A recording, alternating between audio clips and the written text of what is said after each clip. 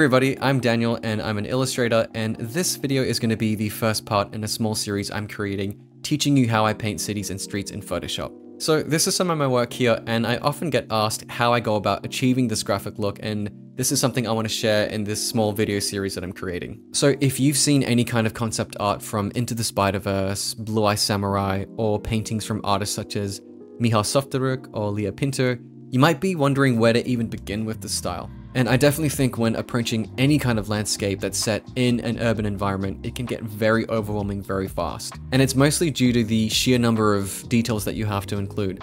But a huge fundamental aspect of this style is learning to create very, very clean shapes and sticking with them. And I strongly believe that if you have this fundamental skill down, that you'll be able to approach any kind of painting challenge and overcome it with ease. Now, this video isn't going to be jumping straight into the sexy painting process of streets and everything like that.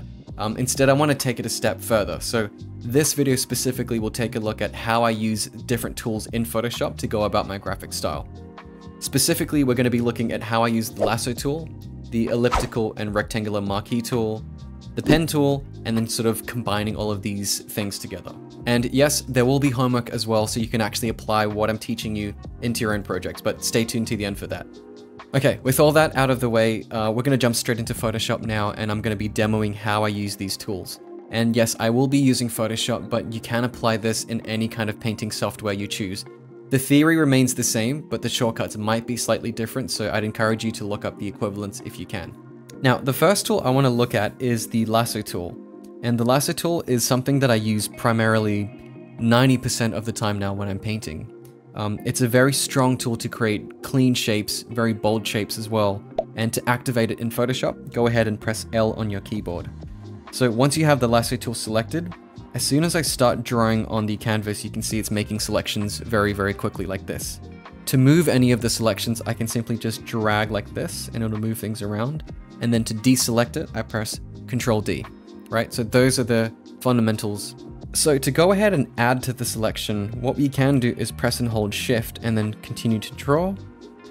And Photoshop will just continue adding to our selection just like this. Um, because as soon as we start to draw outside, you can see it removes that selection and creates a new one. Now for me personally, I don't necessarily like this method. Um, instead, what I'm going to do is come up to the top left here and select the second option of the two boxes intersecting. Now basically what will happen is as soon as I draw anywhere on the canvas, Photoshop will automatically recognize that I'm drawing and add to our selections. It just makes things a little bit more convenient. The fundamental aspect of graphic reduction is creating shapes such as this, and then pressing Alt Backspace to fill it in, and then Control D, and now you have a shape. And then going forward from here, what I would do is create a clipping mask on top, and then paint within it but I'm sort of jumping a little bit ahead. I will be explaining specifically this step in the next video. So using the lasso tool is all well and good, but if we have to create all of our shapes freehand like this, it's going to be really, really hard to draw a straight line. So even if I'm trying to draw a rectangle here, you know, you can see that everything's, it's not where it needs to be. So to create straight lines using the lasso tool, what I'm going to do is tap on the screen with my pen, press and hold Alt, and then now I can, while still holding Alt, move this around and then go ahead and tap different anchor points to create a clean shape such as this. I use this specific method all the time for creating buildings or windows or just fine tuning things as well. Um, and this is a very, very, very important part of my painting process. The cool thing is once we have our shape as well, we're not just bound to what we've drawn because if we press Control T, you can see that I can start to move this and scale it around and I have just a little bit more control. But again, I'm going to show you specifically more of this stuff in the next video. Okay, so while that's all good, how do we remove parts of our selection?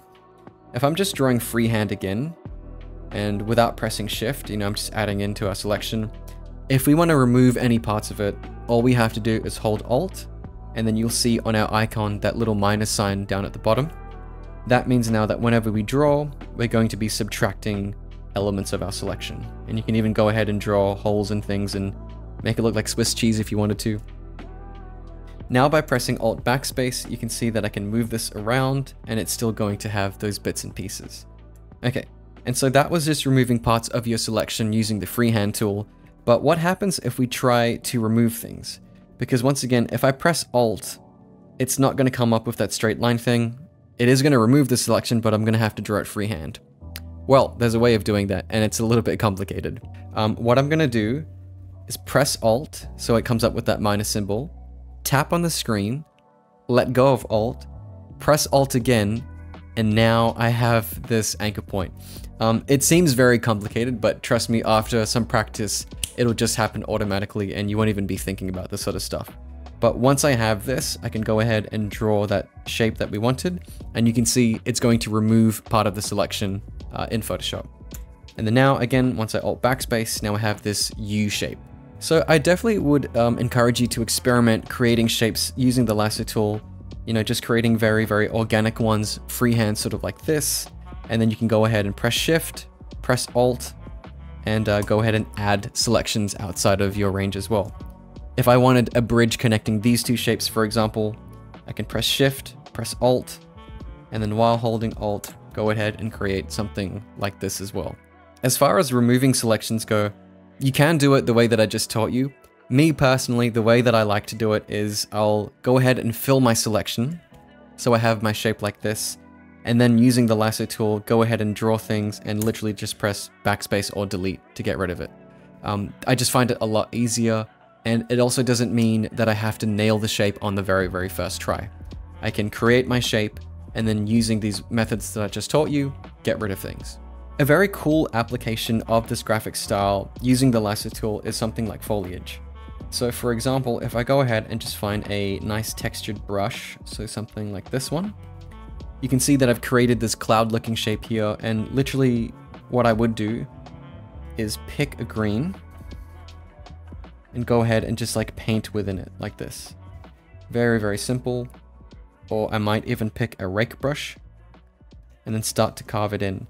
And because we have the initial shape to begin with, sort of masking where we want all of our lines to go, as soon as I press Ctrl Z, now we have this interesting kind of foliage shape.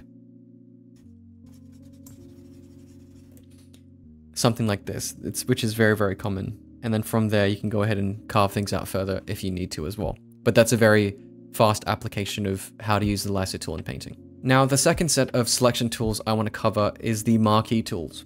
So they're found right up on the top left-hand side, just underneath the, um, the move tool, which is over here. And the marquee tools are just at the bottom. So if you click and hold, it's going to bring up all of these different options here. Um, let's go ahead and use the rectangular marquee tool first. So again, if you click and drag, it's going to come up with a selection. And you'll notice at the top left, we have the exact same functions as we do with the lasso. So if I choose the second one and I start drawing, it's going to add to our selections. If I go ahead and choose the third one, now if I draw, it's going to remove our selections as well. So that might also be a easier way of controlling everything. Now you can create very, very clean graphic shapes like this. The shortcut for the marquee tool is M on your keyboard. And then if you go ahead and drag, you can create rectangular shapes such as this. If you wanted to create a perfect square, it's very simple. All you have to do is click and drag, and as you're dragging, press and hold shift, and Photoshop's going to lock the dimensions together. So you can create very, very easy shapes such as this one here, and say I wanted another square to remove it. I can start dragging, press and hold shift,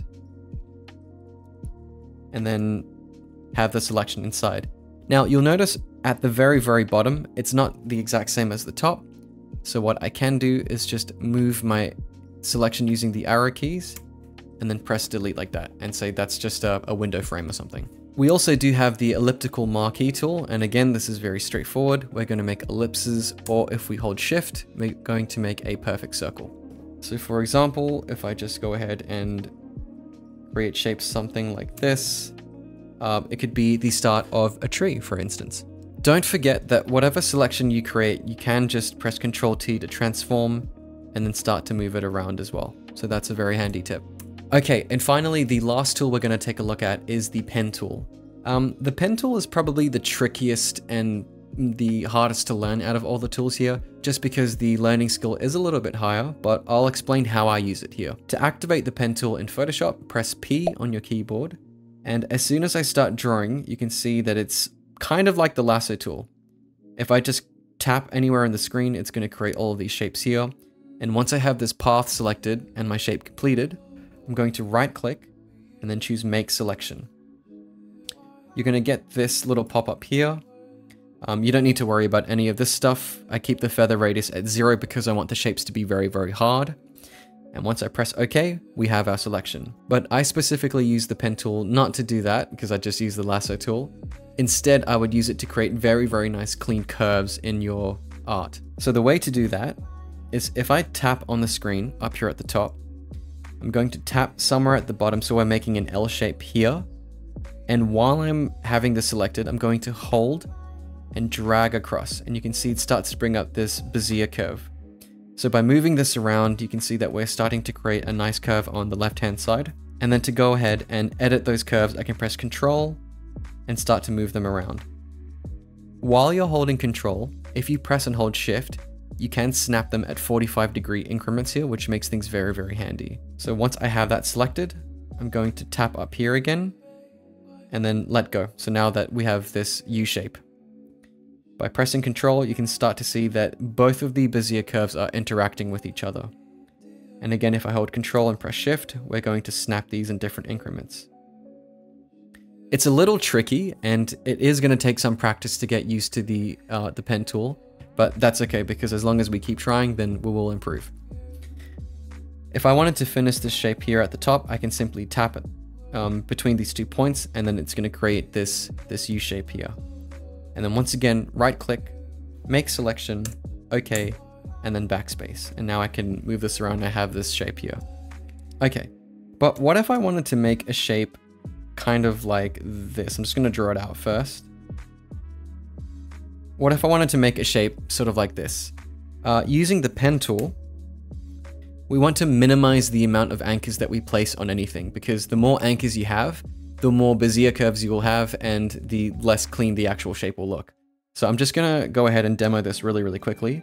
The way that I would start creating a shape like this using the pen tool is I would make an anchor point right here, down on the bottom left.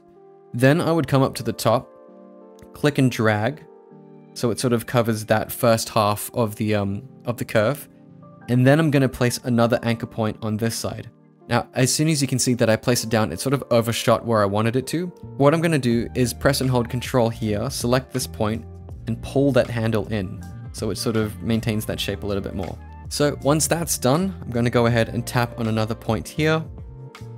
Tap on this point, go ahead and pull out those curves. And then at the bottom, go ahead and tap so we have that curve again. Once again, I'm going to hold control, pull that handle in, and then finish off the shape here. Right click, make selection, boom. Now we have this shape that we created using the pen tool. Now in your pen tool, if you are having trouble creating shapes, so for example, say you create a curve like this, and then you want this to be a straight line, if I tap down, you can see that Photoshop automatically creates it as another curve. So the way to get around that is pressing and holding Alt, and then you're gonna get this little arrow here.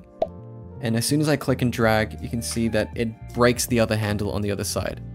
If I didn't do that, it's going to make both of them interact. So as soon as I press Alt, it'll break that anchor point, and now we can create that clean, um, that clean shape here on the other side. By the way, at any point if I'm going a little bit too fast, just let me know down in the comments below and I'll get back to you. Okay, so now that we've taken a look at how to use all of these basic tools, um, I don't think it's enough just to watch the video and not practice what we've learned. So what I've done is I've gone a step further and I've created these four different worksheets that you can download for free on my Gumroad. And so this is intended to be used as practice afterwards. And all you have to do is in each worksheet, I've created a bunch of shapes here using my tool of choice. Basically what I want you to do is go ahead with each of these shapes and use the lasso tool or the pen tool and create exactly what's here, just to get a feel for how to use these different tools. And I'm just going to do a couple of demos here just to get you to understand how I want you to do this. So for example, in the first shape that we have here, again, I'm going to press L on my keyboard to bring up my lasso tool.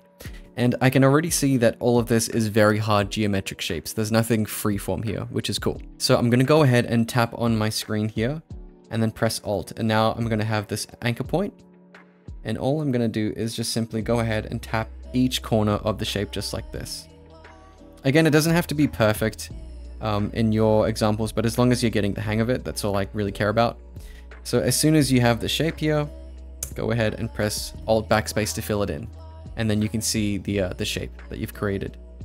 Now, for example, for this second shape, so I'm going to do the exact same thing. go ahead and press Alt and then start drawing where I want all of my corners to be. And this is the important thing about graphic reduction. So as soon as I get to this point here, I could go ahead and just trace it like this. And then while I'm still holding Alt, create that shape. That's totally fine. But another thing that we can do is if I go ahead and just draw the shape again, just like this. As soon as I get to this point, I'm going to overshoot um, all the way up to the second corner and then finish the shape. Now that I have my shape selected, I can press and hold Alt and then come in here and actually just carve this out. Both ways are fine, both ways work, there is no right or wrong answer, but the main thing is when you practice with these tools enough, you'll start to have your own intuitive way of doing things and achieving the same outcome basically. Whether or not you like to go in and physically carve things out, or create the shape first and then remove things, it's really up to you. At the end of the day, what matters is creating great art, but the way that we apply things here is also important. But I think specifically the main thing I want you to take away is that you don't have to create the shapes perfectly in your first go. You can go ahead and start to remove things and refine things as you go along.